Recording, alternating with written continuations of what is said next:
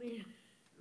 All right, we are live streaming from our staff meeting, and we are talking today about um, different generations in the church. And so I'm going to talk today a little bit about uh, millennials and the unique kind of aspects of ministering and serving millennials. And then next week we may talk about seniors. You know why? Uh, why is there such a radical difference between these two generations? Same sin problems, same you know hang-ups a lot of times, but uh, but they're but they're unique. And when we think about mission, we typ- typically think about mission in terms of geography. So you know, reaching another culture, uh, let's say in Miami, would be radically different than the culture here. But I want to look at mission in terms of generation, not just geography. So, uh, you know, when I grew up, I came into ministry in 1995. My primary audience was boomers. That was probably yours as well. Um, my parents' generation. So I was I was preaching up. I was influencing people a little older than I was. Um, they made up the majority of the church. The youth group was a small group over here, and they were busters, but they they were a little different than the boomers. But um, the majority of the people that I was serving were the boomers, uh, and I had to learn as I got older to preach to the busters, my own generation. Um, and today, the fastest growing segment of most churches are millennials are the group that's coming right after the postmillennials. Uh, so a lot of this information is coming from James Emery White's book, Generate, Meet Generation Z. Um, have you seen that, Chad? Yeah. Okay, it's a great book. If you, if, if you haven't got it, if you're interested in this sort of thing, um, I'm pretty much just giving you a book report from that, but it's been very, very helpful for me uh, in the way that I look at millennials and think about ministry. Um, they have discovered this generation was born in the mid 90s uh, all the way up to 2010, what he's calling Generation Z. Um, he has discovered that the fastest growing group in America when it comes to religious affiliation are the nones, N O N E. So they have no religious affiliation.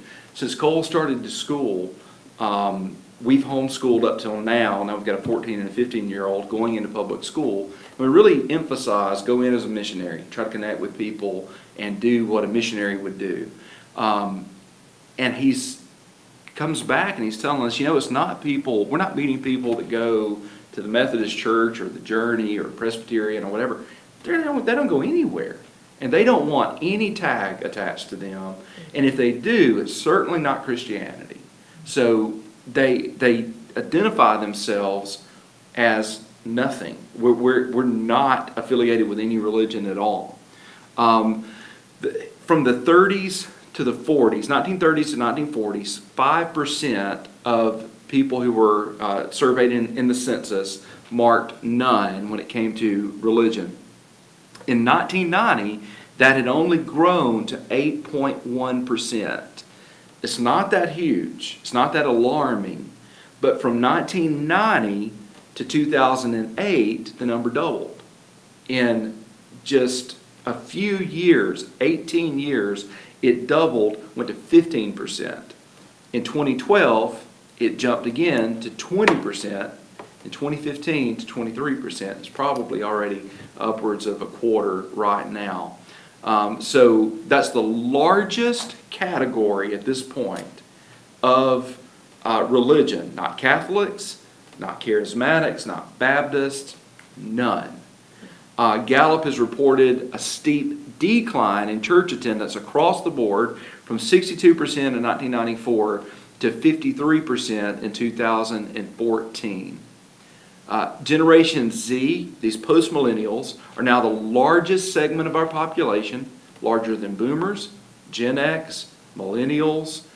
What he's calling Generation Z, um, this largest segment of the population is also highly non religious. So, very much a mission field. Here are a few ways they're different than preceding generations. One, economically, they're different. Beginning in 2007, the economic era that we're living in now is considered the greatest global downturn since World War II. And they're born into this, this economy. Uh, a recent study found that twenty-six percent of those between the ages of eighteen and thirty-nine had a favorable view towards socialism. Now, growing up, you came from a military family.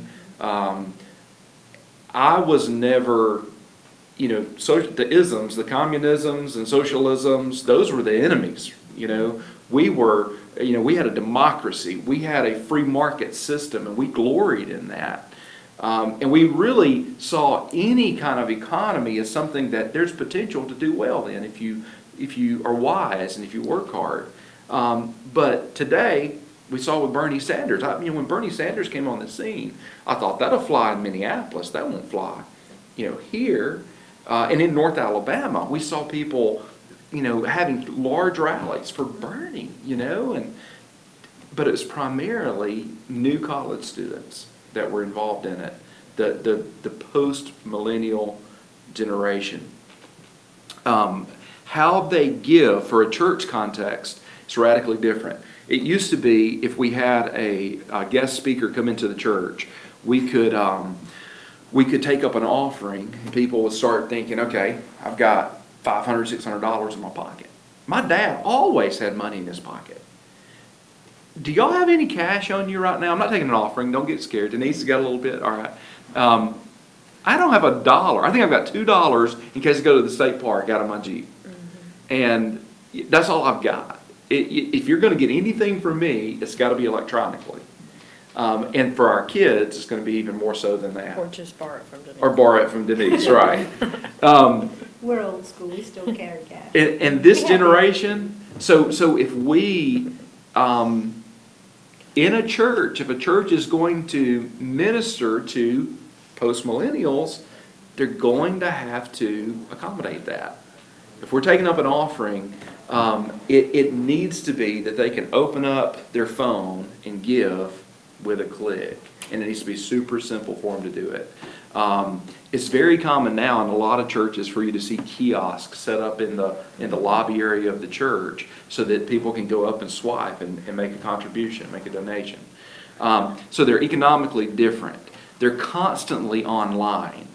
Um, so, you know, again, think back. Do you remember, do you remember the first time that you like got online and, and fooled around and did a search? Do you remember that? Do y'all remember it? I just remember computers are the devil. Yeah, I mean, That's yeah. what I was like, no, you don't do that. So I remember, I remember sitting down and a girl in, in college, it was a group of us from the church, and she sat down and she brought up uh, AOL Instant Messenger.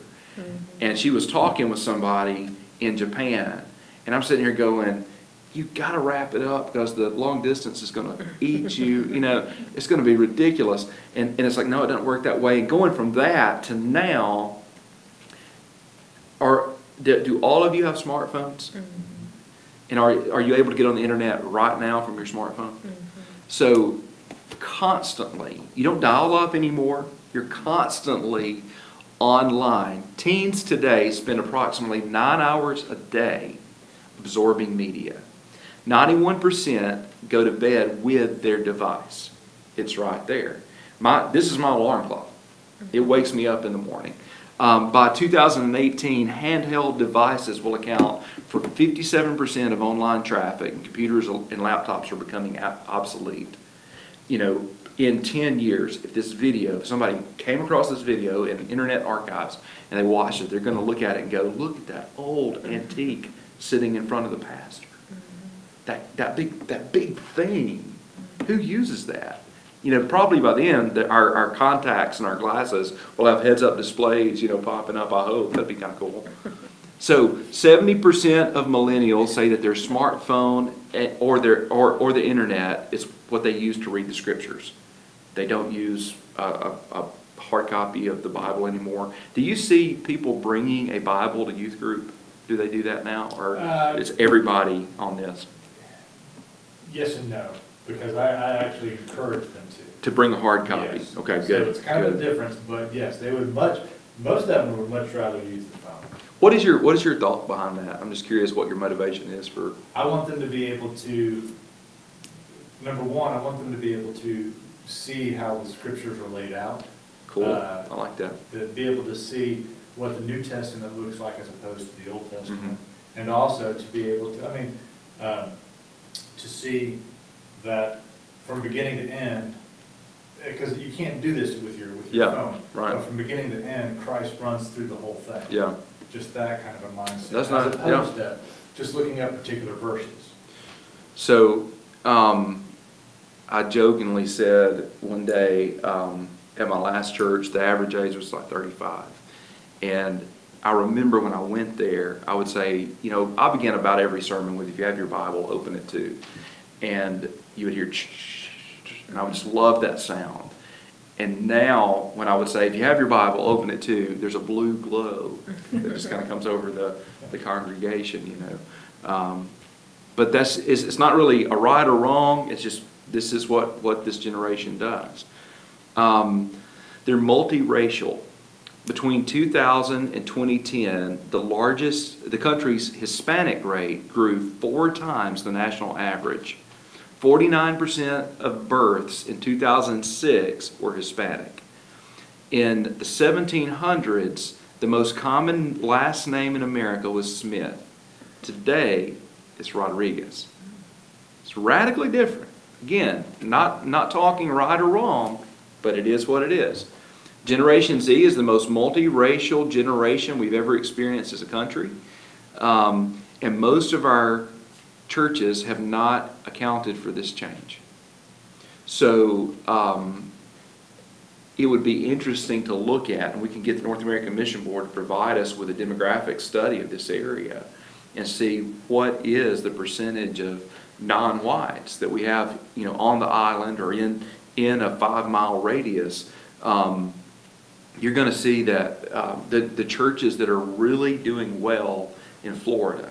And I'm thinking, um, back, back, you know, five years ago was Calvary Chapel, Fort Lauderdale. Um, uh, West Palm, First Baptist West Palm is doing great right now. Um, both of those churches allow that flavor to influence their worship. So you hear that um, Caribbean sort of flavor to their worship, or you know, some influence of, of, of the Hispanic community, which is they're amazing with, with music anyway. Um, but it's just an interesting thing that as churches account for that change, people, if, if people come in and they don't see anybody like them, and we're not honoring their culture in any way, we're obviously saying we feel like ours is superior, you know? And it, if, if we're wanting to reach various ethnicities, then we've got to do, they've got to see that on stage. They've got to see that, hear that in the sound. Um, so they're, they're multiracial. Four, they're hyper accepting. By accepting, they mean affirming. Affirming. So it's no longer just being tolerant. Um, if, if you look at somebody who has a different um, lifestyle um, when it comes to sexuality, you know, we, we kind of went through as a culture this stage to where it was like, okay, they're here and we need to tolerate them and not, not uh, persecute and bully. Okay, I get that. But now it's more like, no, if you're not affirming that they're doing the right thing, that, that they're honoring who they are by living this lifestyle, then you're, you're sinning. You're, you're the bad guy, right? So, um, you know, I, there was, there was in, in a, in a sermon two or three weeks ago, there was just a, a little bit of a, a verse that dealt with that.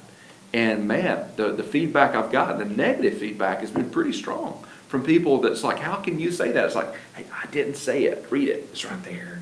We've got to figure out what to do with that because God said it. I'm just echoing what God said. And it's really, it's really difficult in this generation for them to hear you say, or me say, anything is wrong because they're hyper accepting. So that's, that's Generation Z. There's a lot more that could be said about that generation and, and some ideas that I have maybe we'll deal with next week on what we can do to accommodate um, mission and target as a mission field. You know, Jesus came, he, he had a specific group. He said, I came to the lost sheep of the house of Israel. And he did his ministry in a way to connect with them intentionally. And so I think that it's good with ministry, with mission, for us to think very intentionally about how we do what we do. Um, and not just rote habit. So next week, we'll talk about some of the ideas we have for that. And if you have questions or thoughts about it, email them in, zachterry@gmail.com. And we will be uh, updating more of our website. Check our uh, fbfirst.com for new, a new design there. And again, some of that is an attempt to connect better with uh, multiple generations. So check it out and uh, watch for our staff meeting again this time next week. God bless you.